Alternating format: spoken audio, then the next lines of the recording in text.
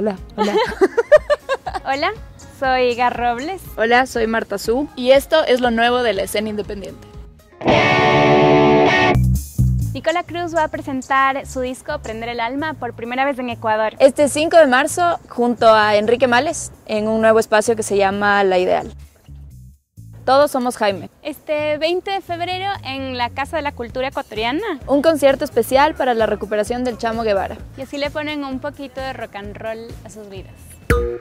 Son los jueves del review. Durante todo el año lanzaremos reseñas de las bandas que deben conocer cada mes. Esta semana Pablo Puente te muestra las tres bandas recomendadas de la música pesada. Bandas bien pesadas.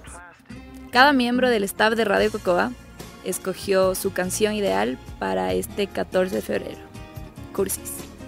Vibes de los 80s con un toque de electroclash español es lo que proponemos en esta nueva sesión de Loba con un tema exquisito que se llama ¿Quién dijo miedo?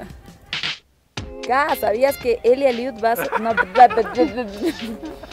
Ga, Elia va a salir en KXP. Va a salir el 13 de febrero en KXP Sí, en KXP.